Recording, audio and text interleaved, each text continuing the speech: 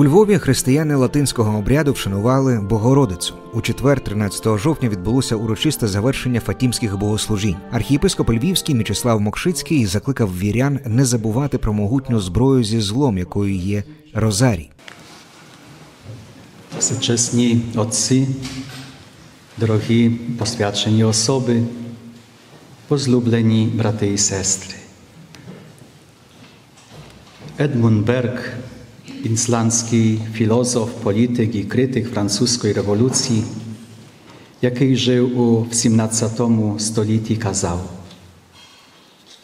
для тріумфу зла достатньо, щоб добра людина нічого не робила. Ці мудрі слова пригадую сьогодні, коли зло однієї людини, здається, тріумфує над добром.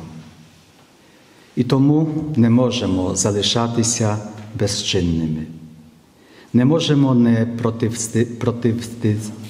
противитися злу і вдавати, ніби воно нас не стосується. Зло у своїй сутності є ворогом людства.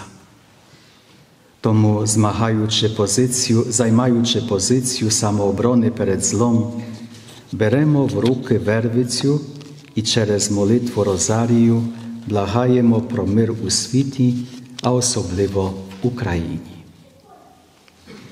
Чому Розарій це дієва зброя у боротьбі зі злом?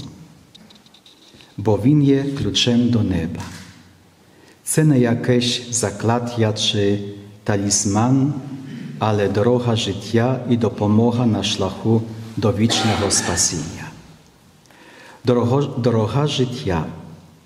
Адже коли стаєш на коліна, як дитина перед найсвятішою матір'ю, вона вчить тебе пізнавати Христа, який є життям світу і подателем вічного життя. Тому молімося Розарієм якнайчастіше, а мотивом до цього нехай буде прохання скероване до нас і святими. Щоденно моліться Розарій. Нагадаю, що Фатімські богослужіння у Львові відбуваються в душпастерському осередку отців домініканців по вулиці Винниченка у каплиці Божої Матері неустанної допомоги, знаної як каплиця Розен. До епідемії коронавірусу та повномасштабного вторгнення Росії в Україну Фатімські богослужіння з травня по жовтень кожного 13 числа місяця об'єднували численних вірян міста різних обрядів.